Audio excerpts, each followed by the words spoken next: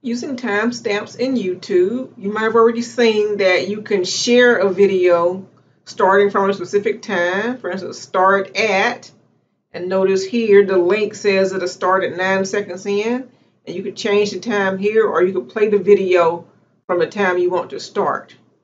But let's say that you want to share a long video and you want to share a list of timestamps, kind of like a table of contents in your own video, you could do that within the description or in the comments. If you're using someone else's video, you could do it in the comments. And I'm going to do it to this Zoom video here. I'm going to play until I get to a subject, and I'll put the timestamp down here with the subject.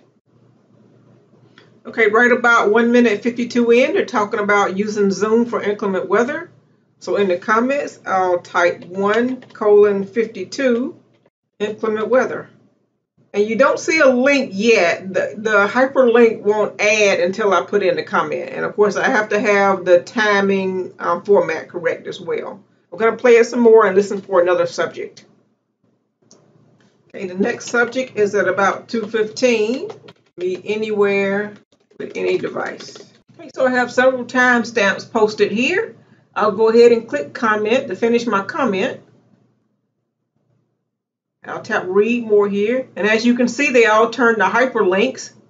So that means anyone could come along and maybe tap on the 8 and the video would jump to that place. And notice that's where I am in the video.